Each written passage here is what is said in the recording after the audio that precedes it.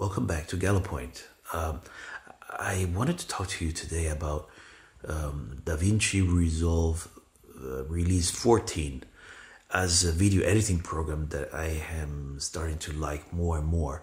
Um, I've been using Final Cut Pro X and Premiere from Adobe until now, and uh, I don't see myself really uh, using them anymore. I uh, have been experimenting with DaVinci Resolve for about a month now, and I am very satisfied with it. This program was known originally or mostly as a color editing program, a very professional color editing program, and uh, I think it's still you know the number one choice in Hollywood.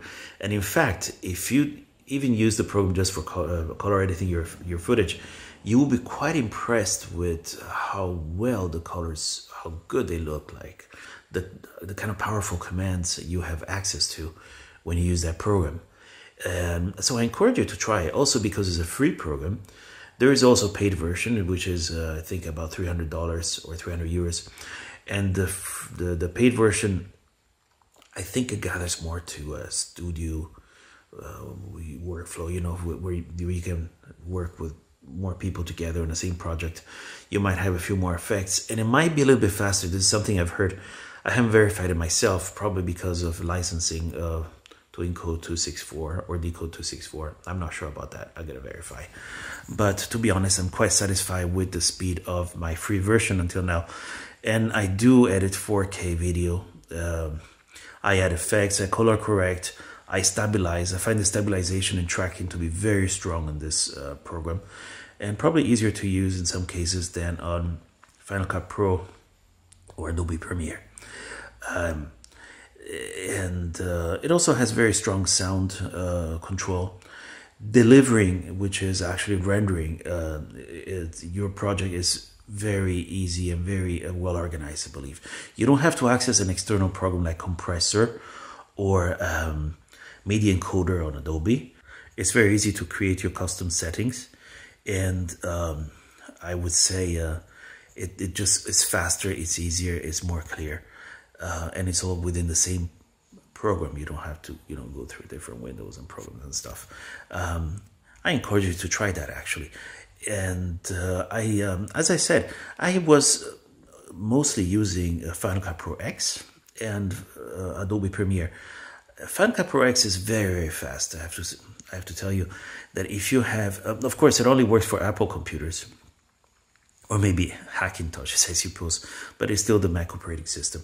But uh, I was able to actually edit 4K video and actually even scrub, you know, on a, on a MacBook Air be, before before now, uh, using Final Cut Pro X. This is unthinkable on Premiere. That you know, doing 4K on on a, Mac, on a MacBook Air on Premiere was a disaster. I just tried it, but it wasn't a very good idea, and uh, I think it's unthinkable on. Um, DaVinci Resolve. I tried to install DaVinci Resolve on i7 PC, laptop, or even desktop, um, and it didn't work that well. I don't. I've heard actually of people that have PCs with DaVinci Resolve running perfectly, but I think you do need strong specifications and a very good graphics card, and probably um, have all the components work well together. Um, I ended up buying a MacBook Pro i7 with the best graphics card in the market at the moment is 16 gigabytes, so um, so that I could run this program well, and it does run perfectly. Um, I've heard that some people manage to run it properly on smaller MacBook Pros too. I don't know. I didn't want to take the risk because if I'm out on an assignment for a client, I can't have um, you know. I, I want I, I want everything to be fluid.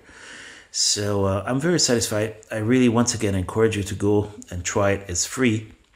You can Google um, DaVinci Resolve 14. And oh, by the way, you can also get, um, if you have a budget uh, and if you're interested, you can get uh, external consoles that will make your work easier. If you work in a studio or uh, you know, if you don't want to use just mouse and keyboards, um, you can take a look at that. It's a very interesting program. It's a very strong choice. It's solid. And as I said before, the way you control the colors is amazing. And I don't think any program, no, no matter what plugins you will put in, um, will give you such such a strong control of your coloring and uh, effects that you can add to them. One of the things I like about DaVinci Resolve used on a MacBook uh, Pro the, with the touch bar version is the fact that it really does use and exploit the touch bar. If you select the color corrector tab, you will see that you have a number of color correction tools on your touch bar on the Mac. And this is actually quite practical. Anyway, let me know what your thoughts are if you want, and uh, have a nice day. Thank you for watching.